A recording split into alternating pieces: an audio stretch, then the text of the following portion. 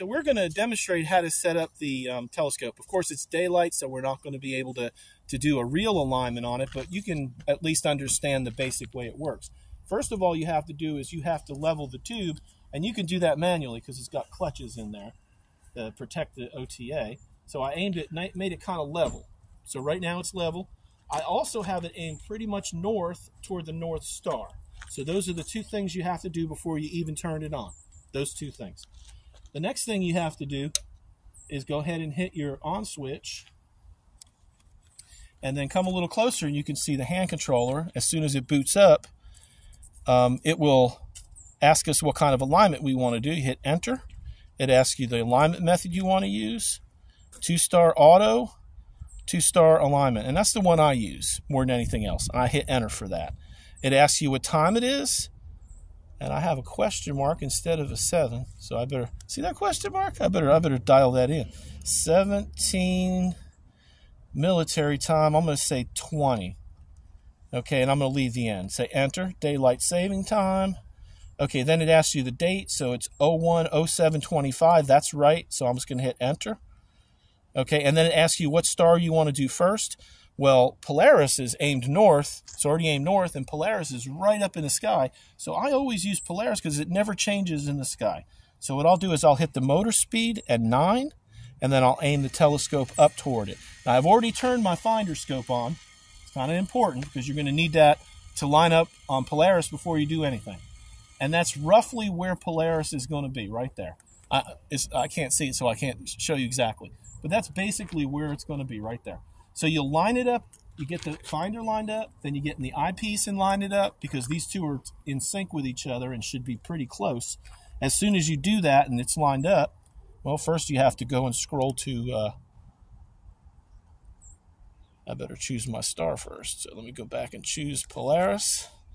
I'm fritting around here until I get to it. Oh, there it is. Polaris. Boom. Do you see that? It tells you to center it.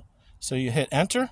You use the keys to make sure and you slow it down. You hit motor 6 to slow it down. And then you use these keys to get it dead center in the red dot and also the eyepiece. And as soon as it's dead center, you hit alignment. And then it'll ask you what next star you want to use. Well, the next star you want to use is to the right, and it's called Castor. And we're going to do that one next. So we're going to flip around until we get to Castor.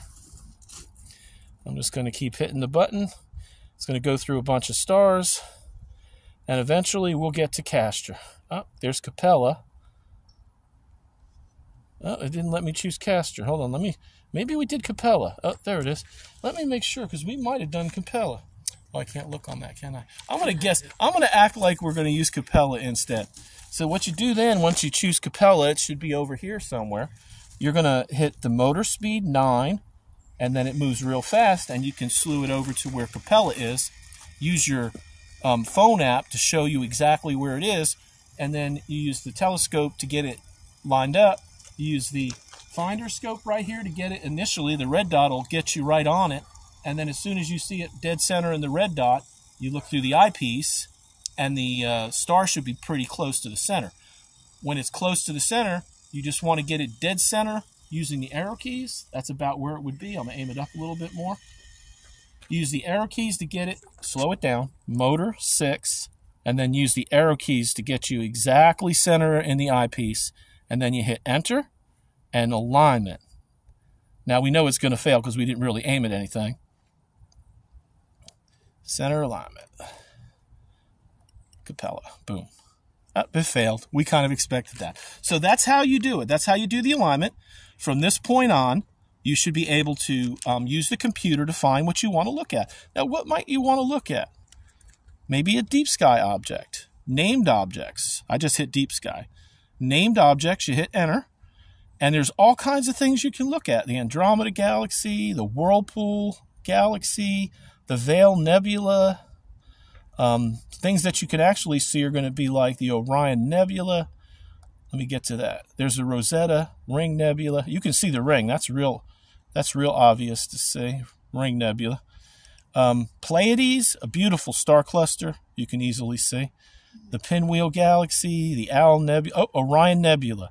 It's in that great big, you know, the one that looks like a big hourglass in the sky?